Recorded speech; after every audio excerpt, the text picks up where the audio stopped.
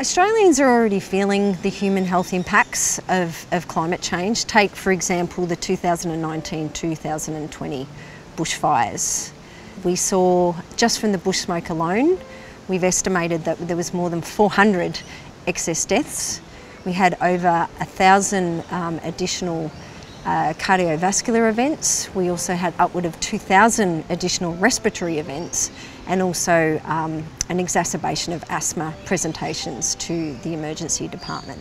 That's not even taking into account the multiple uh, mental health outcomes that would be associated with that one single event uh, and will be long lasting.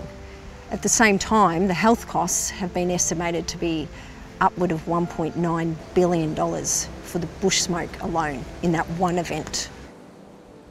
A better future is we recognise and value Indigenous knowledge systems and nature and health is an absolute priority, that we think about the planet as well as human health.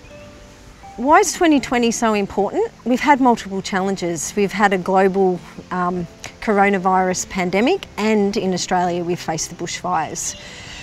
We've had massive disruptions and we know that we need to collaborate, we need to be imaginative about that post-COVID um, recovery. And we're also at a point in time that we know that the next dec decade is critical for climate action. We need to act on climate change now. That means policy action and also committing ourselves uh, to the Paris Agreement and keeping ourselves within 1.5 to 2 degrees pre-industrial levels. A better future.